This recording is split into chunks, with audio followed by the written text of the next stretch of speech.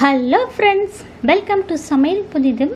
இன்றைக்கி நம்ம வீடியோவில் ரொம்ப சத்தான சுவையான ரெசிபி பார்க்க போகிறோங்க இந்த ரெசிபிக்கு ஒரு சொட்டு எண்ணெய் நெய் எதுவுமே தேவை கிடையாதுங்க. நம்ம தண்ணீர்லேயே முழுக்க முழுக்க தண்ணியை பயன்படுத்தங்க செய்ய போகிறோம் இன்றைக்கி தண்ணீர் பூரி நம்ம எப்படி செய்யுதுன்னு பார்க்க போகிறோம் இந்த தண்ணீர் பூரியை ஒரு வாட்டி செய்து கொடுங்க. குழந்தைங்கள்லேருந்து பெரியவங்க வரைக்கும் எல்லோரும் ரொம்ப விரும்பி சாப்பிடுவாங்க. கண்டிப்பாக ஃப்ரெண்ட்ஸ் நீங்கள் செஞ்சு பாருங்கள் இந்த வீடியோவை முழுமையாக ஸ்கிப் பண்ணாமல் பாருங்கள் இப்போ வாங்க இந்த தண்ணீர் பூரி எப்படி செய்கிறதுன்னு பார்க்கலாம். இப்போ ஒரு பாத்திரத்தில் ஒரு கப் கோதுமை மாவு சேர்க்குறேங்க. இப்போ இந்த மாவுக்கு தேவையான அளவு தூள் உப்பு சேர்த்துக்கலாம். இப்போ உப்பு சேர்த்ததுக்கப்புறம் ஒரு வாட்டி நல்லா கலந்து கொடுத்துக்கலாங்க. இப்போ இது கலந்து கொடுத்ததுக்கப்புறம் கொஞ்சம் கொஞ்சமாக தண்ணி தெளித்து மாவை நல்லா சப்பாத்தி மாவுக்கு எப்படி பிசையுமோ அதே மாதிரி பிசைஞ்சு எடுத்துக்கலாங்க.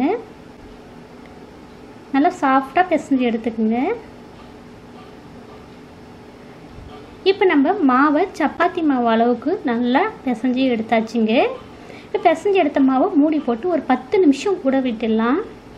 இப்போ பத்து நிமிஷத்துக்கு அப்புறம் ஊறினதுக்கப்புறம் நம்ம மாவை மறுபடியும் ஒரு வாட்டி பிணைஞ்சி உருண்டைகளாக உருட்டி எடுத்துக்கலாங்க. இப்போ நான் உருண்டைகளாக உருட்டி எடுத்து கொஞ்சமாக மாவு தூவி நம்ம சப்பாத்தி திரட்டுற மாதிரி கொஞ்சம் பெரிய சைஸ் சப்பாத்தியாக திரட்டியிருக்கேன். இது போல் எல்லார் வீட்லேயும் மூடி இருக்குங்க. இந்த மூடியை வச்சு நம்ம சப்பாத்தியை இந்த ஷேப்புக்கு கட் பண்ணி எடுத்துக்கலாங்க. நம்ம திரட்டுற சப்பாத்தியோட இந்த மாதிரி கட் பண்ணி எடுத்திங்கன்னா நல்லா ஷேப்பாக கிடைக்கும். ஒரே ஈவனாக இருக்கும் சப்பாத்தி.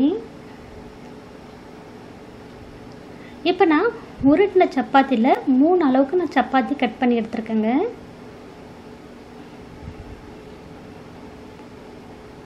இப்போ பார்க்கும்போதே இவ்வளோ அருமையாக இருக்கு பாருங்கள் நம்ம கட் பண்ண சப்பாத்தி. மூணு சப்பாத்தி கட் பண்ணதுக்கப்புறம் நம்ம சுற்றியில் இருக்க மாவுகளை எடுத்துடலாங்க. இதையும் அதே மாதிரி உருட்டி தரட்டி நம்ம கட் பண்ணி எடுத்துக்கலாங்க.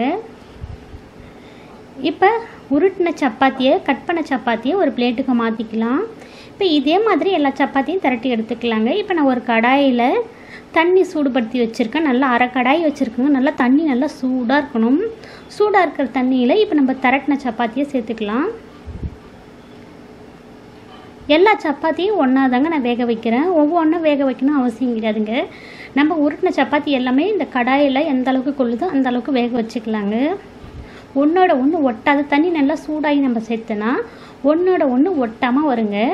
நம்ம ஃபஸ்ட்டு ஆரம்பத்தில் சேர்க்கும் போது உள்ளே போயிடும். அதுக்கப்புறம் வெந்ததுக்கப்புறம் பூரி மாதிரி மேலே வந்துருங்க. அதுவே வெந்ததுக்கப்புறம் எலும்பி வந்துடும் இப்போ நான் எல்லா சப்பாத்தியும் இதில் சேர்த்தாச்சுங்க. இதை இந்த மணத்தீயிலே வேகட்டங்க. இப்போ வெந்ததுக்கப்புறம் மேலே எலும்பி வந்துருச்சு பாருங்கள் இப்போ நம்ம திருப்பி விட்டுக்கலாம் பூரியை. இப்போ ரெண்டு சைடு வெந்ததுக்கப்புறம் நம்ம பூரி எடுத்துடலாங்க தண்ணியை வடிச்சிட்டு. இப்போ எல்லா பூரியும் நம்ம எடுத்தாச்சுங்க. எடுத்த பூரியை ஒரு பிளேட்டுக்கு மாற்றிருக்கேன் இப்போ பிளேட்டுக்கு மாற்றின பூரியில் மேலே கொஞ்சமாக நாட்டு சக்கரை சேர்த்துக்குங்க. இப்போ நாட்டு சக்கரை சேர்த்ததுக்கப்புறம் இதோட ஒரு அரை மூலி தேங்காய் துருவி வச்சுருக்கேன். அதையும் கொஞ்சமாக மேலே சுற்றிடணும் துவிக்கலாங்க. இப்போ நம்ம பூரியை வந்து ரோல் பண்ணிக்கலாங்க. இப்போ எல்லா பூரியும் இதே மாதிரி சர்க்கரையும் தேங்காவும் தூவி நம்ம ரோல் பண்ணி எடுத்துக்கலாங்க. இது போல் நீங்கள் குழந்தைங்களுக்கு செஞ்சு கொடுத்தீங்கன்னா ரொம்ப விரும்பி சாப்பிடுவாங்க. மேலே கொஞ்சமாக டெக்கரேட்டுக்கு கொஞ்சமாக தேங்காவும் தூவி வச்சுருக்கேன். நீங்களும் இது போல் செஞ்சு பாருங்கள் நாட்டு சர்க்கரையும் தேங்காவும் தாங்க சேர்த்துருக்கேன். நீங்கள் இதில் ட்ரை நட்ஸ் கூட துருவிட்டு நல்லா சேர்த்துக்கலாம். இல்லை பொடியாக கட் பண்ணிட்டு கூட சேர்த்துக்கலாங்க. குழந்தைங்க ரொம்ப ஹெல்த்தியாக சாப்பிடுவாங்க. இதில் ஒரு சொட்டு எண்ணெய் நெய் எதுவும் சேர்க்கலங்க. ரொம்ப நல்லதுங்க. நம்ம குழந்தைங்கலேருந்து பெரியவங்க வரைக்கும் எல்லாரும் சாப்பிட்லாங்க. கண்டிப்பாக இந்த தண்ணீர் பூரியை நீங்களும் இன்றைக்கே செஞ்சு பாருங்கள் செஞ்சு பார்த்துட்டு உங்களுடைய கருத்துக்களை ஷேர் பண்ணுங்கள் இந்த வீடியோ உங்களுக்கு பிடிச்சிருந்தால் லைக் பண்ணுங்கள் ஷேர் பண்ணுங்கள் நம்ம சேனலுக்கு மறக்காமல் சப்ஸ்கிரைப் பண்ணுங்கள் இந்த வீடியோவை முழுமையாக ஸ்கிப் பண்ணாமல் பார்த்ததுக்கு நன்றி வணக்கம் தேங்க்யூ